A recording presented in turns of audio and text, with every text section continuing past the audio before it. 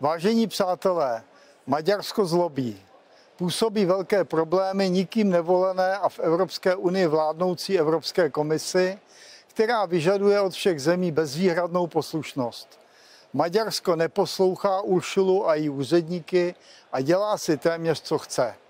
Dokonce se drze přidalo k platformě státu jihu nazvané Přátelé míru.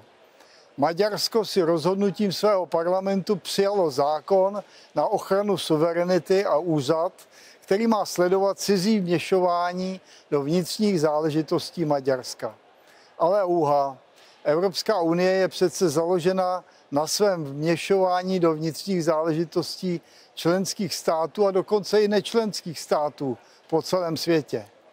Maďarsko dokonce přijalo zákon o cizích agentech prý po vzoru Ruska ale ve skutečnosti takový zákon platí v USA od roku 1938. Nedávno podobný přijala také Gruzie a dnes ve středu 9.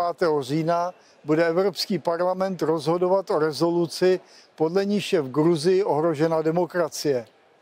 Pravda je taková, že národy zvedají hlavy a autorita Evropské unie slábne, protože přináší členským státům stále větší škody a rizika.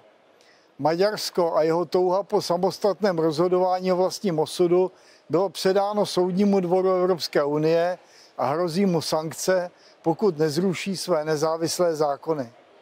Otázkou ale zůstává, kdo je na šikmější ploše, jestli Maďarsko nebo Evropská unie.